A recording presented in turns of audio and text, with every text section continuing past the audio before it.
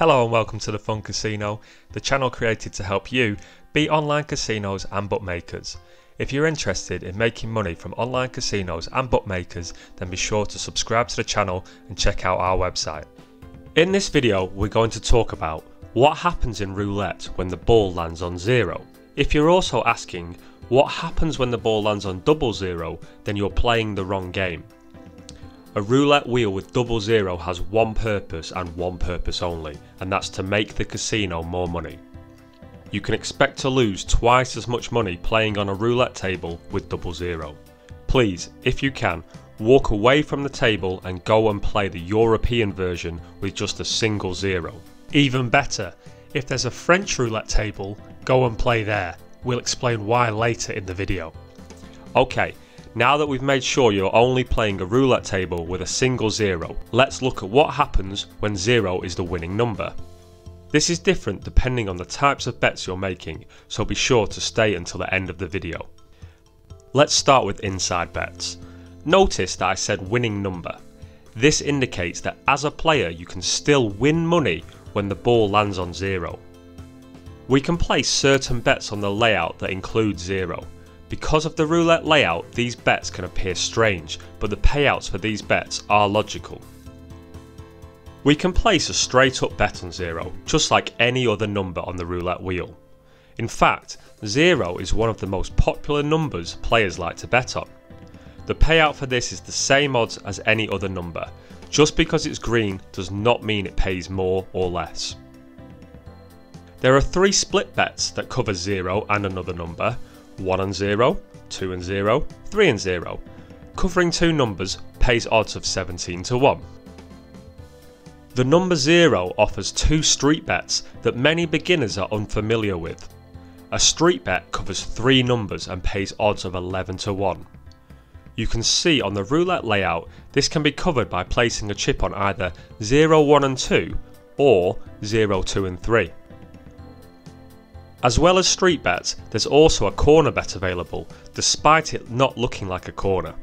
Remember, corner bets cover 4 numbers, and we can do that by placing a bet on the layout to cover 0, 1, 2 and 3. The odds for this bet are 8 to 1. Now let's move on to outside bets. Unfortunately, the phrase winning number is not going to be a winning number for us.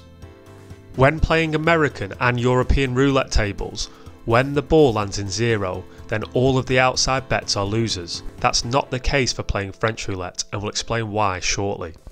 But it makes logical sense that zero would be a losing number for all of the outside bets. It's not in any dozen, it's not in any column, it's neither red or black, certainly not between 1 and 18 or 19 to 36. You could potentially argue that 0 is an even number, According to Wikipedia, 0 is classed as an even number. However, you could argue this with the casino manager all night long. There is absolutely no chance they're going to pay out this bet.